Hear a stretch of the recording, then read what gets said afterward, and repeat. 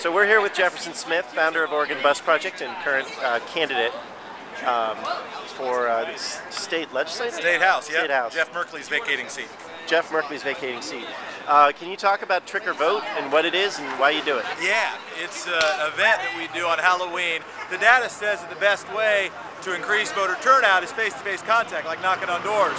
What's the one cultural tradition we've got that involves going out and knocking on a bunch of doors? Well, it's Halloween. And when's Halloween? Always a few days before the election.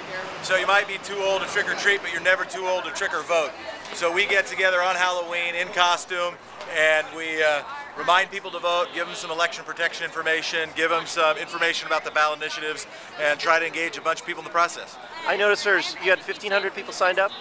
Yeah, about 1,400, about 1,400 signed up, not counting partners and such that were supposed to bring folks. And you know, if the weather holds, you never know what actually happens. But you know, we, I could imagine us having anywhere from 600 to 1,200 people here. And it's two shifts and then a party. That's exactly right. We start out with a with a training, and then one shift, and another training, then another shift, and then we do a party afterwards. Uh, our hope is not only we get a bunch of people, but also that it generates some buzz, some press. You see cameras around, etc.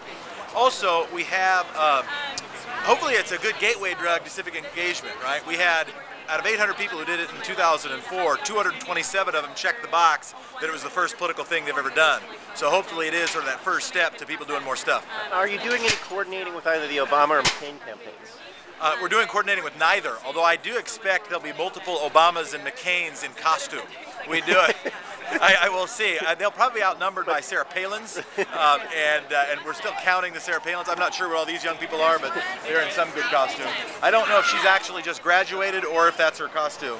I'll have to ask her.